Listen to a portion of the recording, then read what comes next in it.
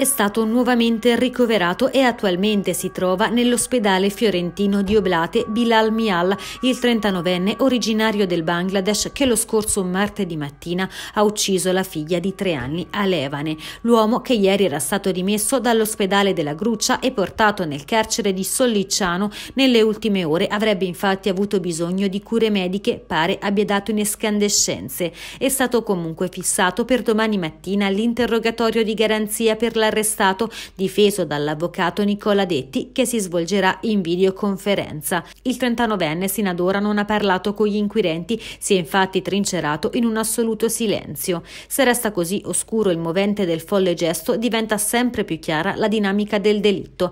I carabinieri della compagnia di San Giovanni Valdarno ieri hanno infatti ascoltato il figlio e la moglie dell'uomo. Il bambino di appena 12 anni ha raccontato di essere stato aggredito per primo, il padre lo avrebbe ferito ferito alla testa con una lama artigianale. Il bimbo fortunatamente è riuscito a scappare cercando aiuto in casa dei vicini. A questo punto il 39enne si sarebbe scagliato contro la piccola colpendola sempre con la stessa arma più volte al collo e al mento, non lasciandole scampo. L'uomo infine completamente nudo e con ancora l'arma in mano è corso in giardino e si è gettato dentro ad un pozzo tentando il suicidio. Sia la moglie che il figlio hanno comunque raccontato agli inquirenti che quella mattina il 39enne minorenne era tranquillo, non ci sarebbero stati episodi particolari o tali da scatenare la sua furia cieca. A preoccupare l'uomo nell'ultimo periodo sarebbero state le conseguenze economiche che avrebbe potuto avere l'emergenza coronavirus. Mentre gli inquirenti continuano ad indagare sul movente di questo atroce delitto,